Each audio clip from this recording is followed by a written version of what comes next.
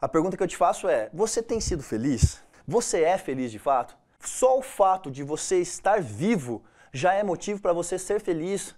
Aproximadamente 250 mil pessoas morrem no planeta por dia. 250 mil pessoas por dia. Você acordou hoje? Acordou, né? Se você está me assistindo, você acordou. E você agradeceu por isso? Se você acordou, isso já é motivo para você ser feliz. Já é motivo para você ser feliz. Se 250 mil pessoas morrem por dia, aproximadamente entre 2 milhões e 3 milhões de pessoas perdem alguém amado. Porque se essas pessoas morreram, 3, 4, 5 pessoas perderam alguém. Olha aí no seu redor, olha para sua vida, as pessoas que você ama. Essas pessoas estão vivas? Se elas estão vivas, isso já é motivo para você ser feliz. Por quê? Porque a vida é o seu maior presente.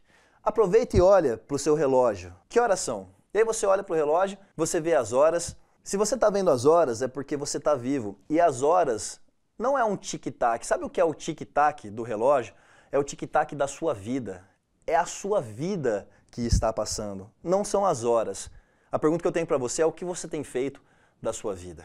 O que você tem feito com esse presente que Deus, o universo, ou seja lá aquilo que você quer acreditar, te deu.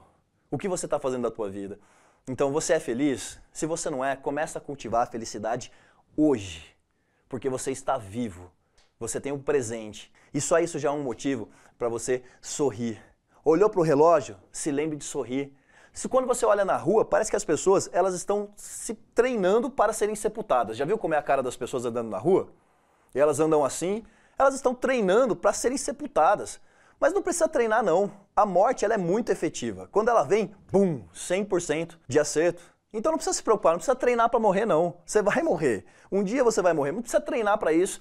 Agora, treine para ser feliz. Quando olhar no seu relógio, dê um sorriso e lembre-se que você está vivo. E esse é o maior presente que você pode ter.